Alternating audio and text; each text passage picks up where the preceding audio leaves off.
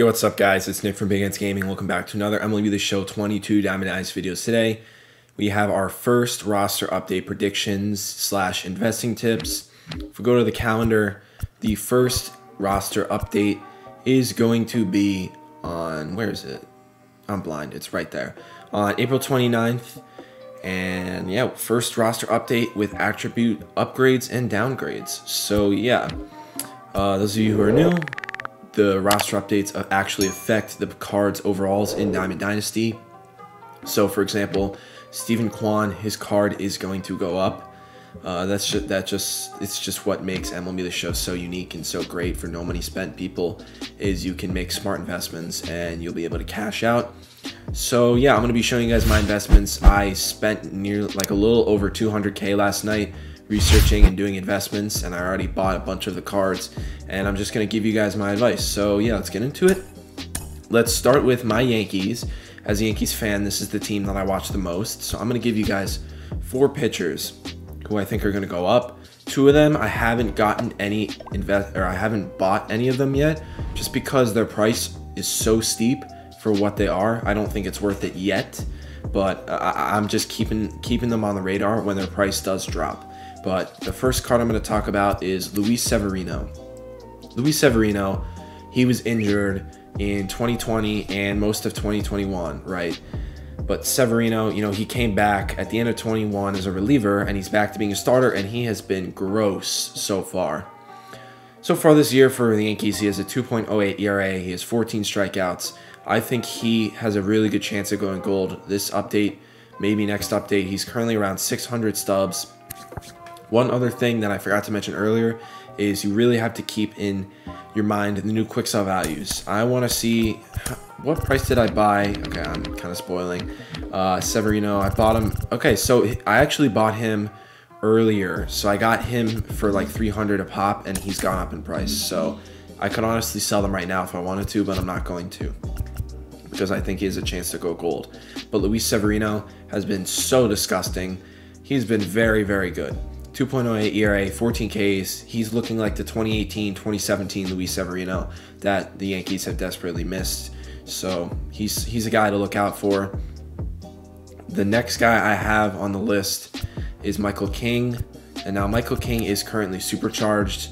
I don't think it's worth buying him right now. He's a 72 overall and he's like 300, 200 for a for a buy order and the quick sell for 75 is 50 stubs. So once his price drops, after he goes to silver, I think he's going to be cheaper. I would then invest in him because he's been disgusting.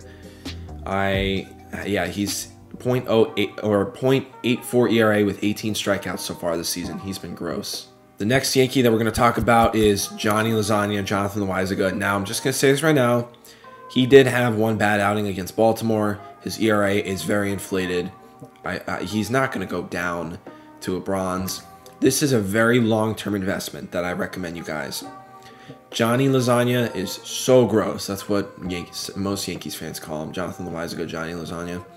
If you buy him now for like a hundred, and long term he goes gold, you'll be making a ton of profit. I bought 50 of them because I think he's going to go gold. Like I said, he had one bad outing. His ERA is inflated. But this is a long term investment if you want to do it. And then obviously, where where where's the goat? Where is he? Nestor Cortes. He's way too expensive for you to invest in him right now. But I'm just saying later on, if there's a chance he could go gold and his price drops, definitely be on the lookout for him.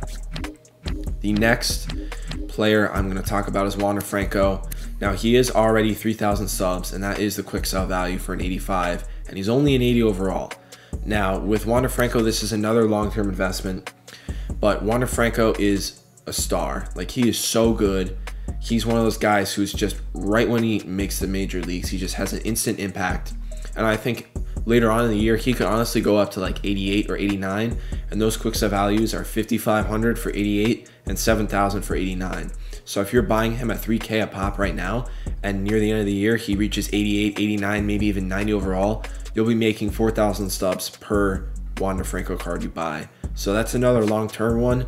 This year, just in general, investing is going to be much more long term because of the new quick sell values. It makes it hard to get quick, fast investments to give you stubs. It's going to be more of a long game this year. But Wander Franco is definitely one I highly recommend, and I'm going to buy a lot more of them when I get more stubs because I still want to have some stubs left over. I don't want to spend all my stubs. The next guy I'm going to talk about is Kevin Gausman. And Kevin Gausman was a diamond last year. He signed a big contract with the Blue Jays, and he's been great so far this year.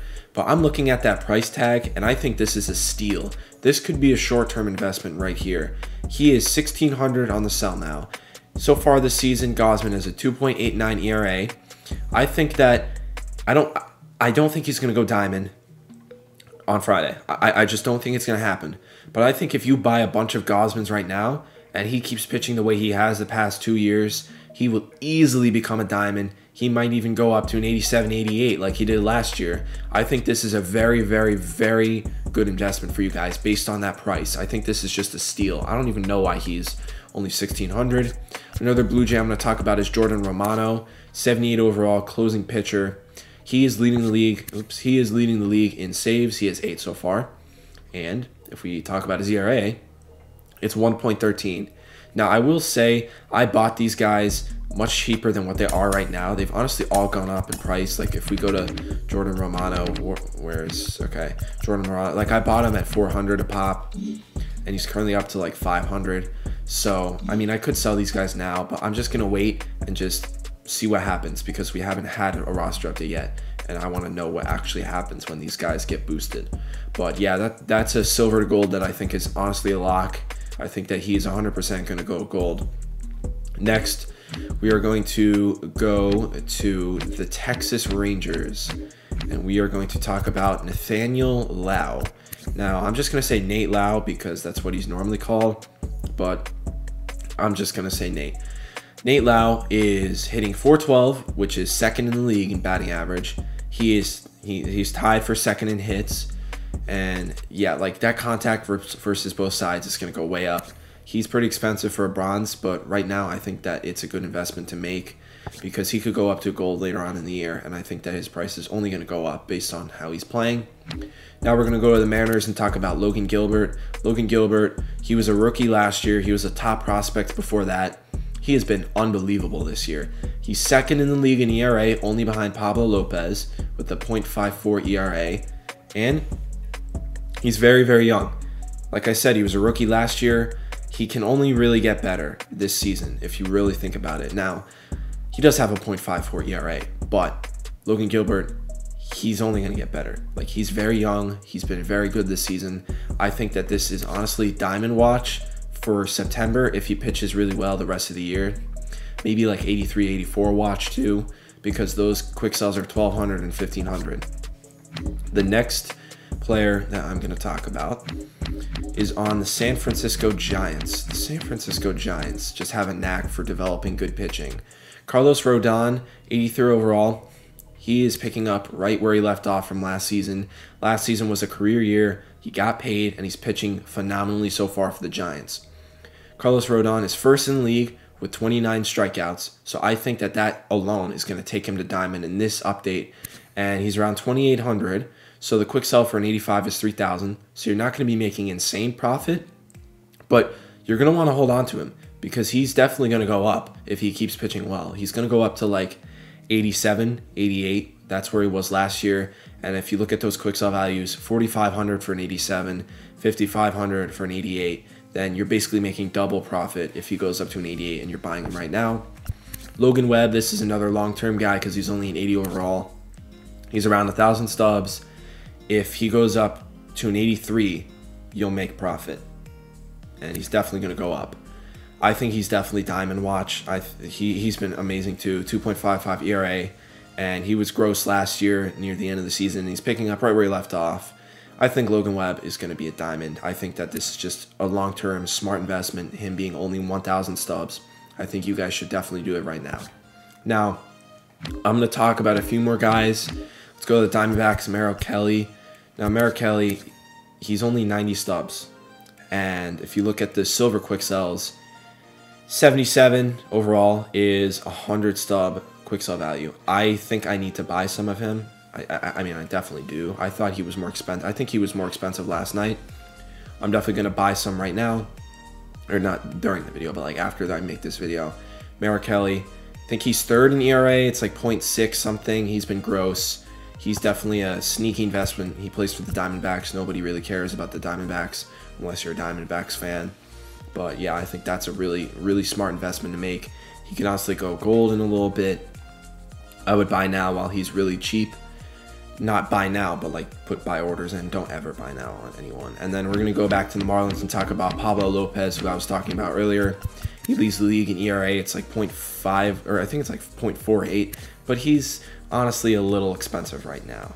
Now, I, I, think that it's a smart investment to make later because if he goes gold and he continues to pitch the way he has, then he could eventually go up to 84, 83. I just don't, I'm just not 100% confident that that's going to happen. But yeah, be on the lookout for Pablo Lopez though. So yeah, that is going to be it for this video. Hope you guys enjoyed. I've been your host Nick from Big N's Gaming, and I'll see you guys in the next one. Peace.